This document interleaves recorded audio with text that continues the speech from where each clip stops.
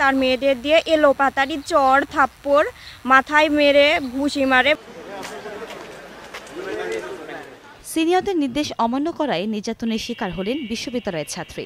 রকমারের ডিসকাউন্টের উপরে শুধুমাত্র নগদ দিয়ে পেমেন্ট করলেই পাবেন আরও একুশ পার্সেন্ট ক্যাশব্যাক গত বারোই ফেব্রুয়ারি রাতে প্রথম বর্ষের ওই শিক্ষার্থীকে হলের গণরুম থেকে ডেকে নিয়ে যায় ছাত্রলীগের সহসভাপতি সঞ্জিতা চৌধুরী অন্তরা। পরে তাকে রাতভর শারীরিক নির্যাতন ও অশ্লীল ভিডিও ধারণ করে। এ বিষয়ে নির্যাতনকারীর শাস্তির দাবি করে গত তেরোই ফেব্রুয়ারি বিশ্ববিদ্যালয়ের প্রক্টরের কাছে লিখিত অভিযোগ দায়ের করেন ওই ছাত্রী।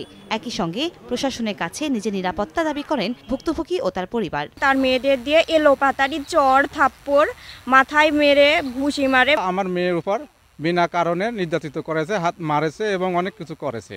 তো আমি গরিব মানুষ আমি এই বিচার কোথায় দেওয়া পাবো? এদিকে তদন্ত করে দোষী ছাত্রলীগের নেত্রীর বিরুদ্ধে সাংগঠনিক ব্যবস্থা নেওয়া হবে বলে জানান সংগঠনটির সাধারণ সম্পাদক। বিশ্ববিদ্যালয় প্রশাসন থেকে আমরা মানে শাস্তির আওতায় আনার জন্য আমরা দাবি জানাব। এছাড়া বিশ্ববিদ্যালয় প্রশাসনের নির্দেশে অভিযুক্তদের বিরুদ্ধে ব্যবস্থা নেওয়া হবে বলে জানান সহকারী প্রক্টর।